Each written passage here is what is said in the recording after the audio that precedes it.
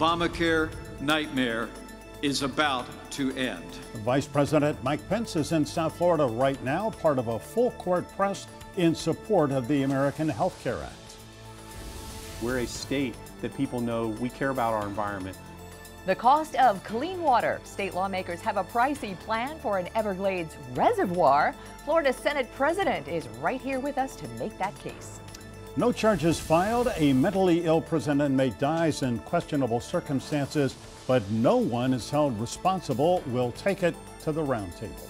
Good morning. We begin today again with the push to repeal Obamacare and replace it with the American Health Care Act. But now we've seen the numbers. Health policy experts say the impact of the HCA HCA on Florida next year and for years to come would be significant. Higher cost for older folks, less help, less subsidies from the government.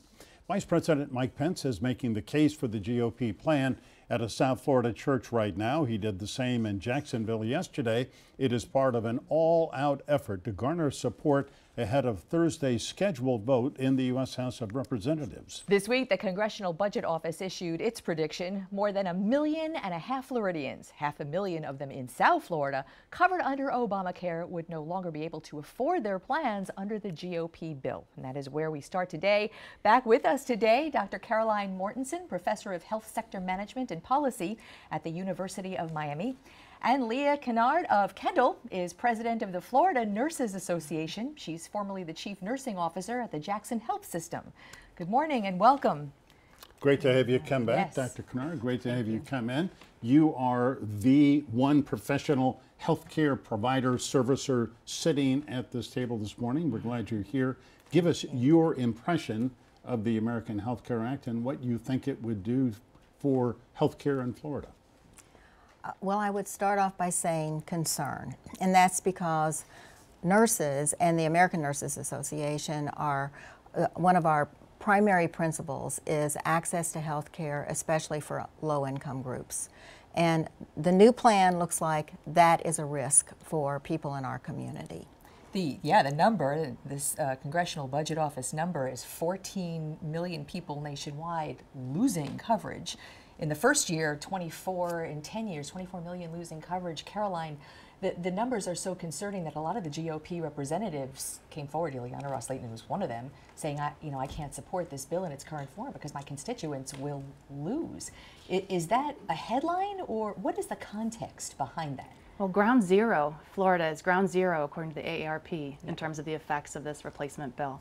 Um, so they are estimating about half a million individuals aged 50 to 64 that live in South Florida that would see their, their subsidies disappear, their tax credits not be large enough to make that affordable care.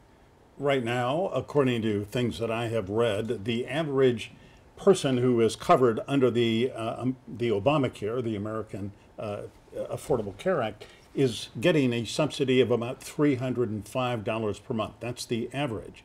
And under the new bill, that subsidy would pretty much go away.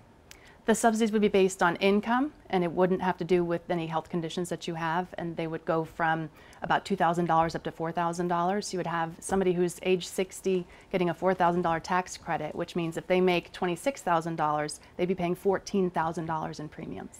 There is context behind that and reasoning behind that, but Leah, isn't that antithetical to healthcare providers? for the people who probably need it the most or are most vulnerable mm-hmm. to get the least amount of care. How, how mm-hmm. is that going to work? That, that, absolutely, and and the plan also uh, strips opportunities for preventive services. Uh, I believe uh, tobacco cessation and some other pre preventive services are not included in it. So that puts people on a path that will lead to more difficult con conditions to uh, manage. Addiction services as well mm -hmm. would be significantly reduced or even eliminated under the new bill. Well, I, I, believe there, and Karoline would know this, there is some funding that is continuing for the opioid crisis. Mm -hmm. There are about 10 people a day in Florida who die from opioid addiction.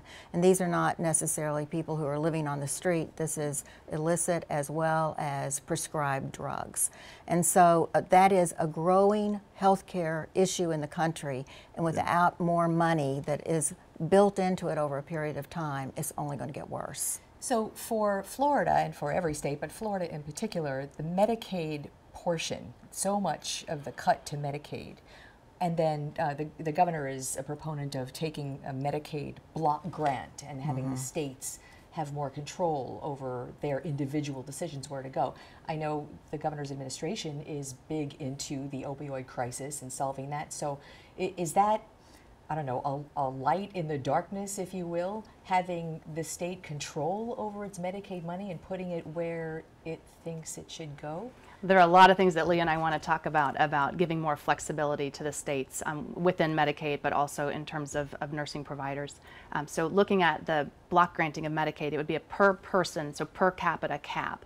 Uh, I think the state of Florida largely has their hands tied because in 2014 we moved um, 40%, we had 40% Medicaid managed care rate. We moved it up to 80%. So that's, the flow of funds is coming from the states to managed care companies, and managed care companies are making the decisions for Medicaid enrollees. Oh, okay, wait, slow down for a second. Yep. so the block, there is no block grant right now, but Medicaid money coming to the state is going to managed care through the state decision. That's right. 80% of Medicaid enrollees in the state of Florida are now in managed care. And this is relatively new. It just started in 2014. And is that under Obamacare? No, that's completely, they made it clear that's completely separate from the Affordable Care Act. I know that there was a test program, I believe, in Broward County. That's right. And, uh, but there were some problems with the way that worked, and yet it was rolled out statewide. Very rapidly. For April to August 2014, it was rolled out very rapidly. So you took people from fee-for-service Medicaid, where it was volume-based reimbursement, now to managed care companies. It's actually been impressive. The managed care companies have provided a whole host of services that are not necessarily offered under fee-for-service Medicaid. So it has been an expansion in the, in the richness of benefits yeah. that they yeah. receive. Uh, Leah, let me ask you, just so we sort of set the parameters here, Medicaid is the program for very poor people disabled people, but a lot of pregnant women are also covered when they go to the hospital mm -hmm. to have their babies. Uh, in fact, I have seen that more than I believe 50% mm -hmm. of the mm-hmm. babies born in this country, reimbursement to the hospital is through Medicaid. Um, is that in jeopardy now? Um, yes, it's in jeopardy. And the other side of it, and I'd like to talk about nursing a little bit, is that uh, nurses, nurse practitioners see a higher percentage of Medicaid patients than other disciplines. Mm -hmm. And so um, that's access to care that is not as expensive. Nurse practitioners are not reimbursed at the full rate that physicians are. And, uh, and, and all, all, kinds of services, not just pregnant women. Mm -hmm. um, a major issue in the services of nurse practitioners. Now, the Affordable Care Act was good for nurses. And I like to think that what's good for nurses is good for patients. Mm -hmm. And in that respect, the Affordable Care Act has expanded the role, it's, it's probably not the best, it, it, dealt with the role of nurses and gave nurses more opportunities to provide services in primary care. And the, I, that is what I think you're basically talking about. Mm -hmm. It's stripping funds from primary care. But stripping funds from nurse nurses practicing in that sort of care? Right. Is that spelled out in the bill? It doesn't, the, uh, the new bill, AHCA, does not address the role of nurses. The, uh, the Affordable Care Act provided all kinds of opportunities for nurses. Now, in Florida, we have a bit of a problem because Florida has been the slowest state in the union to be able to deal with opportunities for nurse practitioners. We were the last state, and it only happened last year after 23 years of going to the legislature, that nurse practitioners can begin to prescribe controlled substances. So there is concern about where people will get their care, especially in rural environments. I was just going to say, I'm sure nurse practitioners uh, provide a service everywhere, but particularly in rural areas where there are fewer MDs or DOs. Absolutely. And if, if that, those services are not there, that means people have to travel. They don't have the funds to travel. People actually will not get care. We have a lot more to talk about on this. We're going to take a quick break and come right back.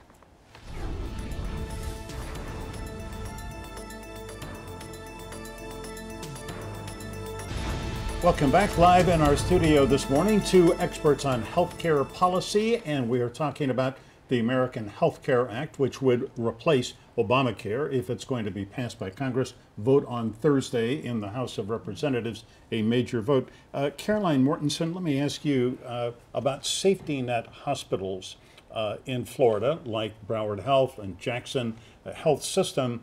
Uh, they treat a lot of indigent people, uh, and Medicaid goes a long way towards paying the cost of that. Now, if, if Medicaid is cut back, what does Jackson do, for example? Uh, that's a great question. So Florida is different from a lot of other states. Again, we're not a Medicaid expansion state, and um, part of the Affordable Care Act was cutting down payments to hospitals because they were assuming that they, more and more people would get enrolled in Medicaid. So Florida has something called a, a limited low-income pool that right. goes to the hospitals, LIP, and they call the it the LIP. LIP. That's right, and that's getting cut year by year. So this is actually the last year where we know that there's going to be money in there, which really emphasizes the importance of programs like Medicaid, where you know you may not get paid as much as Medicare or private insurance, but you would get a payment for the patients that you're treating. So, if it comes to pass that so many more millions of people are uninsured, which is really the case prior to Obamacare, when all of these people looked to have ur- urgent or emergency needs or catastrophic care, they would go to places like public hospitals, and the mm-hmm. taxpayers would end up footing their mm-hmm. bill mm-hmm. anyway. So, what is I, I guess I don't understand the theory behind taking insurance away and going back to that process financially. Oh, I don't. Neither do you. I don't understand it either. no, I don't. I mean, I think ultimately we're going to start feeling the effects of this because if more mm-hmm. patients go to Jackson that are not getting reimbursed for, our insurance premiums are going to go up. Florida has 20 of the 50, 50 highest charging hospitals in the country. 20 of them are in Florida. 40 percent. We have expensive hospitals in the state. We're paying for that because our employer coverage gets more expensive each year. You know, that, that brings up a really interesting question because we, we talk about coverage, the cost of coverage, but really the cost of coverage is different from the cost of care. And even, uh, you know, even with a, an insurance policy, a, even a bare bones insurance policy or more, a, a person may not be able to use that policy because they can't afford the care anyway. It, what, what is the solution? How, what is the path to take for the cost of care? The $8 aspirins, for instance. Mm-hmm. why, why do aspirins in hospitals cost $8? Well, you ask a very fascinating question because it's very hard to know what the cost of care is. And that's a, a transparency issue. You can go buy an aspirin at a drugstore, but you will not know what your aspirin is going to cost you in, in provider services. And th- what that does is it takes me back to what you were talking about even before the ACA healthcare has been a mess. I mean, we, we, we do the very best we can. Um, we're, we're not high ranking in terms of um, how we compare with other countries, uh, westernized countries. And, and in, yet, in cost of care or care? in, in, in care, in the results of care. And something that I think that people must begin to think about is what is the personal responsibility to find out as much as I can. And a question that I like to teach people is to always ask, what difference will it make? What difference will it make if I have the procedure, if I don't have the procedure, if I wait? And because we have to think differently about providing services. We're a culture that thinks more is better. And isn't that one of the tenets behind this AHCA? Is that if people have a pool of their own money, they will take more responsibility for their own care and learning the costs of care. It, that's is that valid? if you're wealthy. And if you understand well- the prices that you're that you're facing, people don't comparison price shop for healthcare. It's impossible to figure out the There, prices. There is ahead is of time. almost no good consumer of healthcare because we can't go out and say, oh, if I buy it at hospital A, it's this much, and hospital B, it's that much, or I want my MRI here or there uh, because of the cost difference. I mean, we don't do that. And Well, that's- our insurance companies uh, really dictate in a way where we do get it. Isn't that changing though? In Florida, there is now a push for transparency. You're laughing. I, I'm, I'm sorry, I am laughing. Uh, there it was a transparency bill. The most aggressive bill in the country was passed last week. But um, the company that is charged with revealing the prices for the cost of care is funded by the three large insurers in the state of Florida. So it's not clear that it's actually transparent at all if you have the same insurance companies funneling the organization that's going to reveal the transparency numbers. So it's a little unclear how that will go forward. Let me ask you kind of a basic equity question about the uh, American Her- Health Care Act versus Obamacare. Um, under Obamacare, as we all know, there is an individual mandate requires people to buy insurance uh, or they are have to pay a penalty under the American Health Care Act. That goes away, which uh, ostensibly I think it's you know they're assuming a lot of young people are going to drop out because they're healthy. Why should I buy uh, insurance? But in fact, the tax breaks for young people, especially those making over thirty thousand dollars a year, are pretty generous as opposed to people fifty to sixty-four who are ill, and their uh, subsidy goes down significantly. I mean, there's just it doesn't seem very fair. Oh, well, even if it's, and I, I, I looked to Karoline about this, but my thought about um, insurance is when, when you're well is also when you need it because you don't know when you're going to be in, in an accident. You don't know when you might get cancer or heart disease. And so for young people to think that they can go insurance bare is a mistake.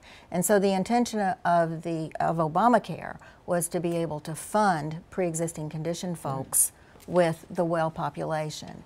And um, that, that has not been successful. Now, how it will work with the AHCA, I don't know. Well, I think the CBO says it best. You're taking $880 billion out of Medicaid, which is by definition low, very low income, young people as well as over 65 population. And you're funneling that into the largest costs in the AHCA bill are the costs of the tax cuts that are going to the wealthy, the wealthy corporations. 600 billion. in Over tax $600 cuts. billion dollars in tax cuts and taking away 880 billion from the people who need it most. Yeah, the top 2% wage earners, income earners, uh, receivers in this country uh, would do very well under the American Health Care Act, and the poor and the middle class, not so well. That's correct. More to come on this subject, no doubt. I hope you will be back with us as this unfolds. Vote we in the need House. help First vote in the House on explaining it. Tough to get your Do arms around it, All right. but we're doing our best.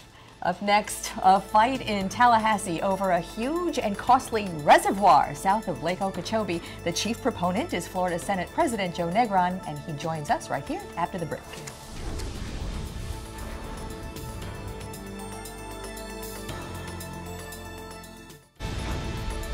Clean water, a basic necessity of life, is at the center of a big debate in Tallahassee these days as Florida lawmakers take up how much to spend on cleaning and restoring the Everglades. Senate Bill 10 is advancing through the Florida Senate. It has big goals and a big price tag and a big proponent in Senate President Joe Negron, who is here right with us this morning to talk all about it. Good morning and thank you for being with us today. Good morning. Senator, glad to have the opportunity. All right, you are on this campaign to buy, have the state buy 60,000 acres of agricultural land south of the lake for above ground reservoirs, but you're getting some pushback from House Speaker Richard Corcoran, and the governor doesn't like this at all. So, how are you going to do this? Well, first of all, I think the governor does support water going south, and the 60,000 acres that we need. Um, I'm open to looking at a combination of ideas, including some land the state owns um, south of Lake Okeechobee. The goal is simply to have a place for water to go rather than east and west where it destroys estuaries and our waterways. Right. Well, it destroyed the waterways near you're from Stuart. Correct. And on the eastern side of the state, we saw that toxic green sludge last year, awful smelling, uh, bad for the environment, bad for the economy, happened on the west coast over in Lee County as well. Yes, and it's it, we can do better than that. There's always been a plan for increased southern storage. The issue is really where to do it and when to do it. So what I'm saying is that in order to avoid these situations in the future, the governor declared a state of emergency for over 200 days. Businesses are out and gone. Uh, we had uh, situations where literally there were signs in the ocean that you couldn't swim there because of the dangerous conditions. So I think there's a way that we can put more southern storage south and look at other options to make sure that the Army Corps has options rather than just flooding billions of gallons of polluted water From into estu- into estuaries that were never intended to absorb that. So, this huge reservoir to the south has big blowback from particularly sugar and sugar Right. farmers and those that depend on that industry. Why there? What, what are the other options? Are there other options? Well, there's certainly other uh, components of the plan. I think having additional southern storage is an indispensable component because no matter how much storage you have in other places, when we when we get a lot of rain in the summer in Florida, which we do frequently, and the lake gets to 16 feet, whether we like it or not, the Army Corps is going to open up the floodgates. So I'm certainly willing to look at storage north of the lake as an option, and also to look at land the state owns south of Lake Okeechobee to augment the amount of storage that we need.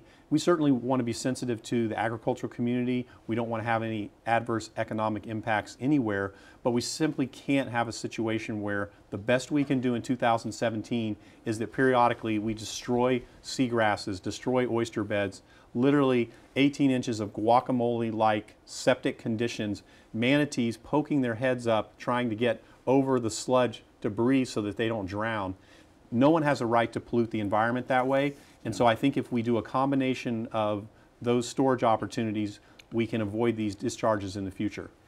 What, can, When- can I just follow course, that up? What happened? All of this pollution, eh, phosphorus-based pollution from the sugar industry runoff.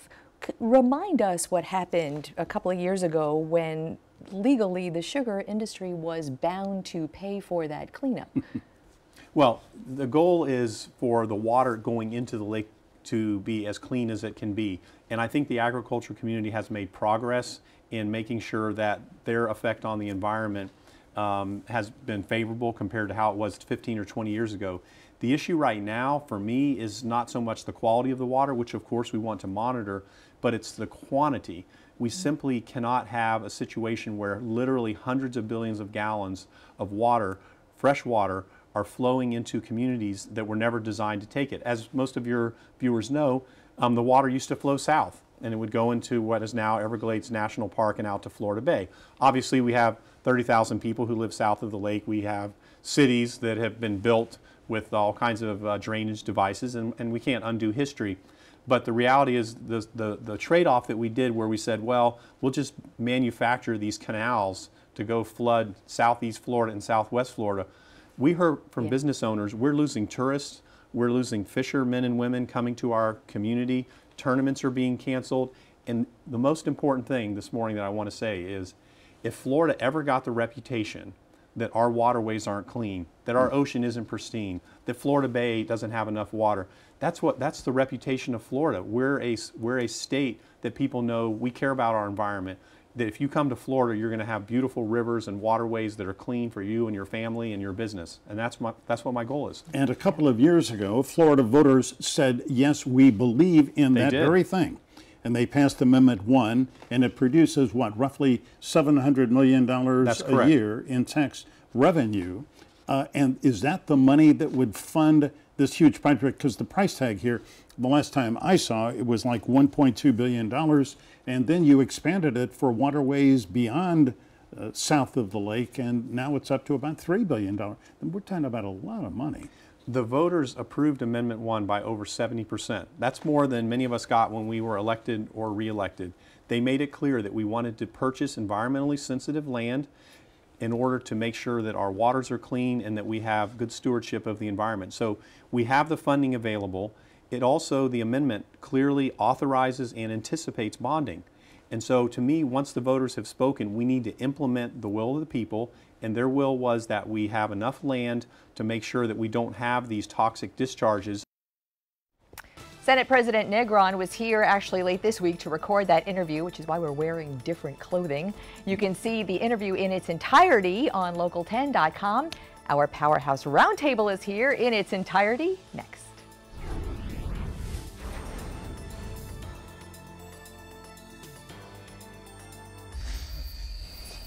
Welcome back. We have a roundtable redo this week for perspective and analysis of the big issues of the week. We are going to pick up where we left off last week with the same all star cast Melba Pearson, Deputy Director of the American Civil Liberties Union of Florida. She formerly was with the Miami Dade State Attorney's Office. Rafael Yanez is a political activist and analyst who graduated from the University of Florida and the UM School of Law.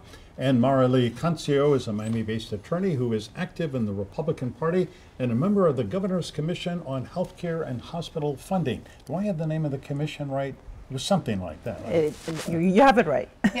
Okay, well, Marilee, since you were on that commission and you follow healthcare policy, the House of Representatives scheduled Thursday to vote on the American Health Care Act president picked up a few votes late this week with some conservatives. He came and said, okay, I'll cut back on Medicaid benefits a little bit, and a few people signed on. Is this going to pass?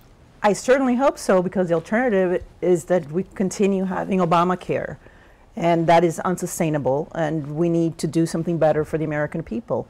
I truly hope that this is the one chance for Republicans that have complete control of the House and Senate to pass something that it's better for everybody, I'm better for businesses. I'm going to respectfully disagree with my friend Mighty Lee here because I'm actually quite concerned as a Republican that this bill, as it stands today, is a death sentence for our majorities in Congress.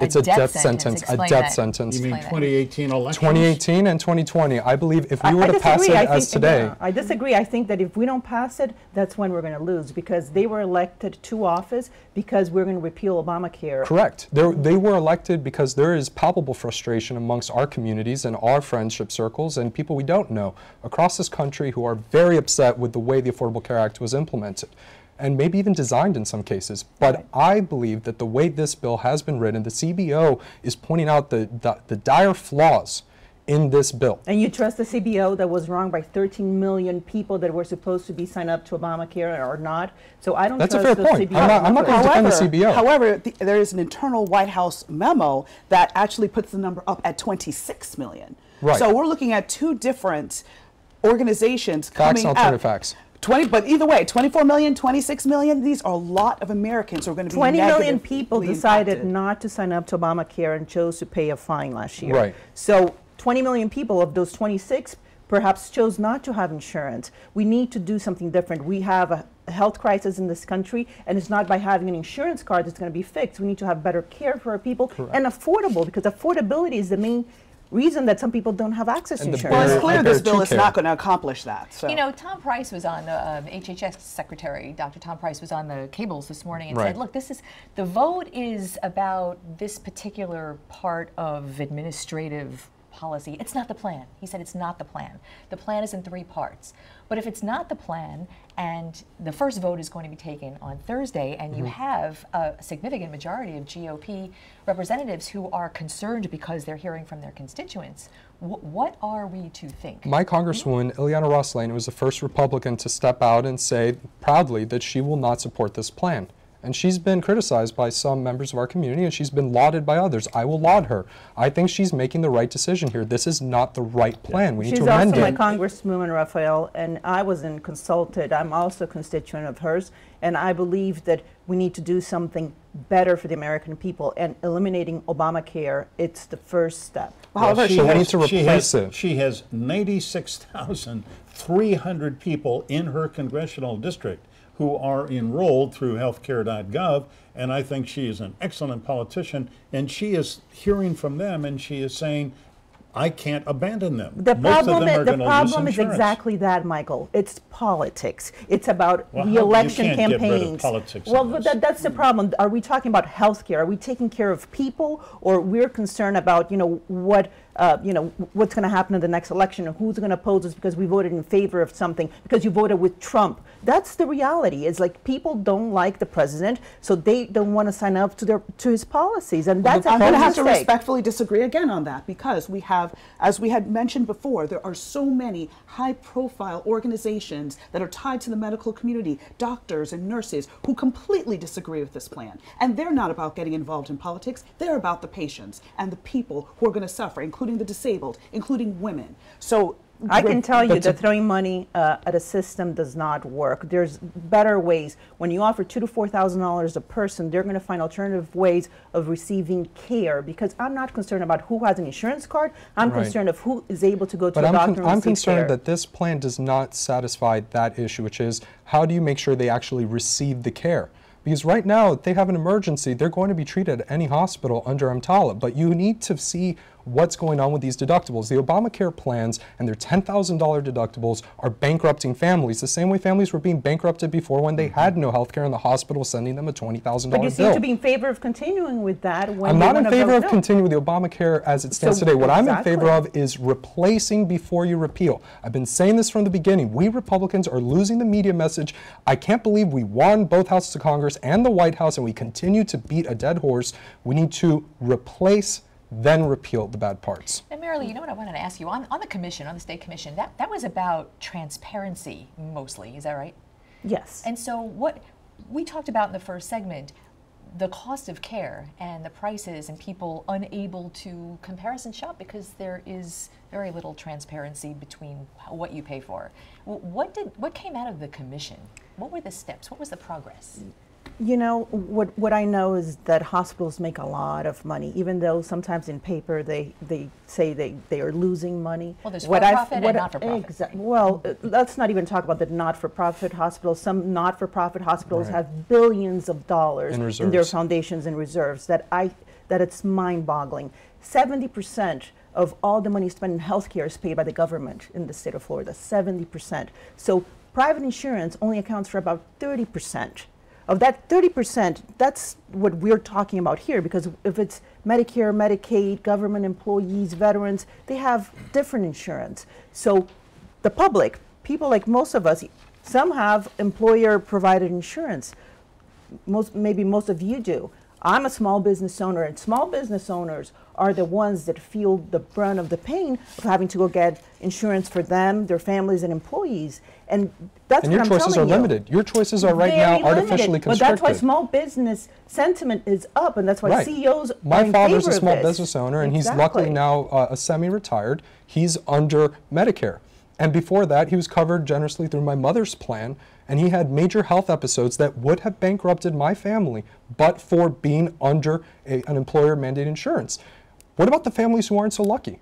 And I'm, I'm actually quite concerned that right now, healthcare, access to healthcare, access to true healthcare, the public has felt the, the, the comfort of the security blanket of the Affordable Care Act. Now we're dealing to pay the price, and we need to replace before we repeal. And I think one of the more positive things that I saw this week about compassion, humanity, was Florida Atlantic University did a mm-hmm. poll this week, and 70 76% of Floridians say they're terribly worried that older poor people are going to lose their access to health care Right. under the American Health Care Act. Maybe it's not good under Obamacare, but they say, you know, for these people to lose that care is abominable. It's unacceptable. And additionally, you have to worry about our, our citizens, our uh, friends and family members who have disabilities, who are currently Right. under Yes. disability insurance. And there's going to be caps under this proposed plan, which would cause someone with disabilities not to be able To be frank, to take care of unconscionable.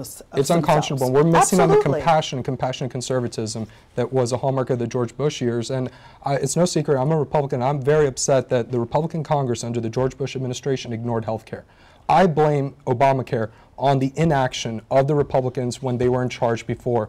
Now we have the White House, we have the Senate, we have the House, and we seem to be going back in circles. Just because we had a bad plan before doesn't mean that any plan will fix it now. We need to have a concise, targeted surgical plan to fix Perhaps, Obamacare. Yeah, Rafael, perhaps by the time the Senate gets a bill and then it goes into a conference committee, Right. some of these things may be ironed out. If not, Let's pray. the whole future of uh, the presidency of Donald Trump is somewhat in question. Anyway, we'll be back with more Roundtable in just a minute.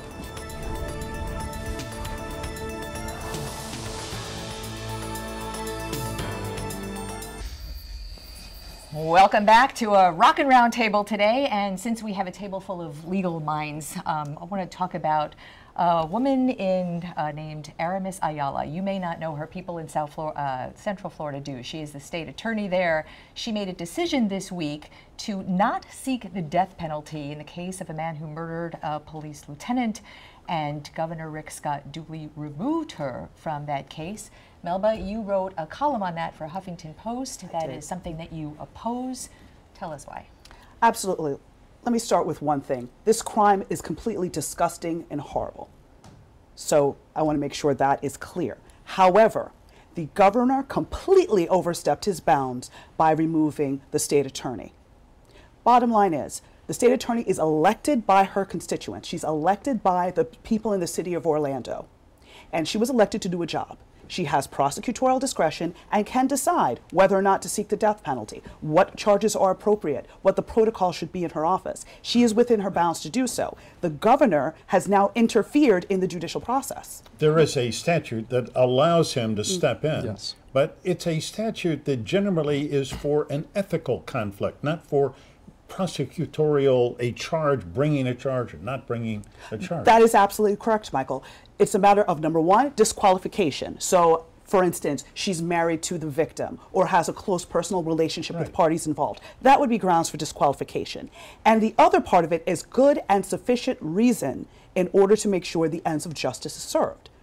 But disagreeing with her handling of a case is not proper grounds. I will. di- I respectfully disagree because the governor is the chief law enforcement officer in the state, and the state attorneys have a duty to enforce the laws. Now, I agree with you that maybe she had the prosecu- prosecutorial discretion in this case. However, I believe firmly if the laws in Florida state that you could be tried by death penalty, by a death penalty jury, and suffer the harshest crime we have, or the harshest penalty for harshest crimes. And she chose not to put this case in front of a jury. But it's more That's than, unconscionable. Right, but it's what's more than that. She said that she was not going to pursue any Due death to- penalty. due and to that's- chaos in the right, legal and look, system, what- uncertainty. Mm-hmm. This Well, is, which is he, he killed a law It's not her enforcement call. officer. he killed up his he- pregnant he's alleged girlfriend. to have this, killed. if anybody, if Right. anybody should, you know, d- receive the death penalty, would be him if found guilty. What, Well, what the- she had said was, what I read was that she said was that she found no public safety benefit to the death penalty and will not seek the death But penalty. when you when, that- when that you get exceeds the elected, scope of discretion, right? But when you get elected, opinion. you put your hand uh, on a Bible or on a take document, and you swear to follow the Constitution of the state. And And seeking it's life part of without parole is part of the Constitution. I However, have it been, should go to having the been a prosecutor, having been a prosecutor and handled homicide cases, I have made the decision as to whether or not to seek death in a But case. it's different. Did you ever say, I'm never going to seek the death penalty in Right. any case? Did you ever come out and publicly say that? I think that's the difference. No, but you it's were not that you make a choice in one case. You're just saying, in my office, we're not going to seek the death penalty However, case. The law in the state of Florida has changed with regards to the death penalty. No, it has to be unanimous. Exactly. but it still goes, it's still a jury decision. It's the- I believe it And should go to the jury. But it's still a potential prosecutor's sentence. decision as to whether or not to seek the death penalty. And if she decided, I don't want to be that test case with what would happen if I don't have a unanimous jury and then have to try it again and put the victims' families through it again Well, and bring this- witnesses back Well, and she would, she wouldn't have to try it again months. because if the jury is not unanimous, it becomes an automatic life life sentence. If they're able to convict but not reach unanimity, so I I don't believe that it's fair to compare your honorable experience down here in Miami with this case because you behaved within the scope of your office. She is exceeding the scope of her office by making a political decision not to prosecute any death penalty But cases. it's not a political The- the- decision. It's within her discretion. question- I think the question that is raised by this is, in every judicial circuit in the state of Florida, uh, is the governor going to step in when he doesn't like a decision by the And state he's not up for election in in a 2018. capital case? Well, that's up for Something debate keep- for something different. Let me rephrase. He's not for re-election. However, the question is what kind of precedent are you setting? Mm-hmm. So, if Right. let's say there's a prosecutor that's investigating wrongdoing in the executive branch, in the governor's office, is he now going to remove that oh, come on, you prosecutor guys- you and guys appoint a different one? the blowback that's, there would be that's the precedent immense. that's being set. That's the precedent. All right, before we run out of time, there is a, finally, a decision this week in the death of Darren Rainey. Darren Rainey, 50-year-old black man, uh, a small-time drug dealer who was doing a two-year sentence at the Dade Correctional Institution. On June 23rd, uh, 2012, uh, he died in that facility. He, two guards put him in a long, narrow shower. Uh, he could not control the water temperature. Some inmates there said it was used as a form of punishment, either very cold water, very hot water. Anyway, they left him in, in there for two hours. And he was found dead on the bottom, on the floor of the shower. Um, and this week, the Miami Dade State Attorney's Office, uh, Melba, said uh, they did an exhaustive study, and it took nearly five years. And they said, We can't find any culpability. We're not bringing charges against anyone. A man dies in prison in state custody, and nobody is charged. How can that be? I, I understand that this is definitely very disturbing. I've read the report. It's all the facts of this are very, very disturbing. However, the question always is whether or not you can prove a case beyond a reasonable doubt in a court of law. And Ms. Rundle believed that she could not prove it beyond a reasonable mm-hmm. doubt. That does not mean there wasn't wrongdoing. That doesn't mean the guards didn't do something wrong. It's just that it cannot be proven beyond a reasonable doubt. But what the key issue is here. We need to have a federal investigation into our prisons here in Florida to make sure there's not a pattern of abuse and neglect going on I'm- and people are suffering wrongfully. I'm concerned with what the Legislative Black Caucus is going to say about this, our representatives in Tallahassee, because with the Black Lives Matter movement saying that police brutality is, is killing black men and women across this country, we're in a relatively quiet racial tension period right now. And Katherine Fernandez Rundle won by acclamation this past election. No one challenged her on the ballot. And now, on a weekend, when everything's nice and calm, the weather's beautiful in Miami, this, what should be a controversial decision, was dropped on all of us because it is an unconscionable action that took place in state custody, and now the man is dead. What do we say to his family? Well, actually, though, if you read the closeout report, I think what they, the state attorney lays out why there is no evidence to support a prosecution Well, but- because of the lack of malice, uh, Right. conflicting. Uh, Conflicting statements say and the was no evidence. But the to circumstantial I'm evidence. I'm sorry, but w- you know, uh, prior to the show, the three of us were talking, and we, I believe that this should have gone to a jury to Right. decide. They could have, um, you know, charge him with manslaughter, but you don't leave somebody in the shower where they have no control of hot or cold or able to leave the shower with no supervision for that long of a period of time. So clearly there was I'd negligence, and, and it's something that Yeah. maybe they didn't have the evidence, but let the jury decide. All right, that's going to be the final word. Thank you all. A wonderful roundtable. Glad you. could come back. Still to come, my personal perspective about the death of Darren Rainey. Stay tuned.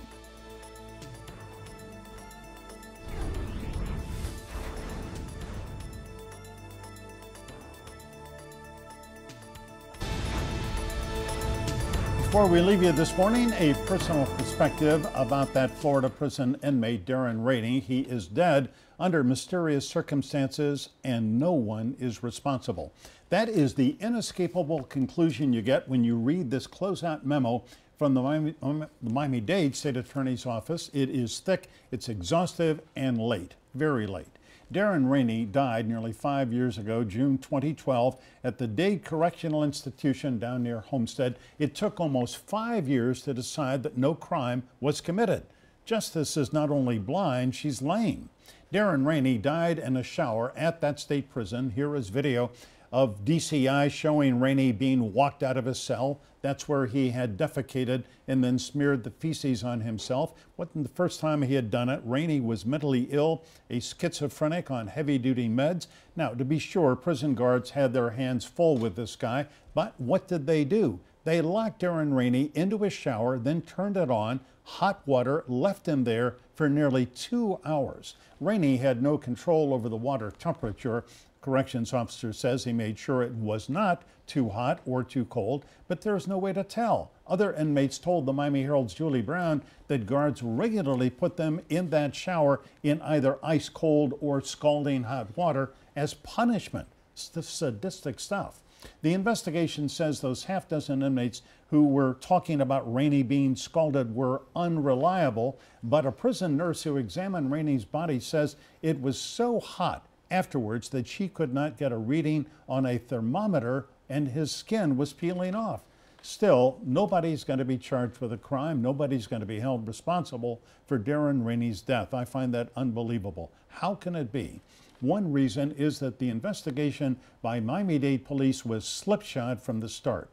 They got serious only when the Herald's Julie Brown and others, including me, started asking questions. Well, the closeout memo leaves important questions unanswered. The Civil Rights Division of Justice may still answer them. And if you're wondering if a small time drug dealer who is mentally ill deserves all this media attention, the answer is yes. As it says in the book of Matthew, inasmuch as ye have done it to one of the least of these, my brothers, you have done it unto me. That is my perspective for this week. I hope you have a great Sunday. Remember, as always, stay informed, get involved. And get online. We would love to hear from you on any topic you like, something that you've seen here, something on your mind. Here are some addresses. We are very easy to find, and we love to hear your perspective. And we do respond, so we're in touch. You be in touch. Have a great Sunday.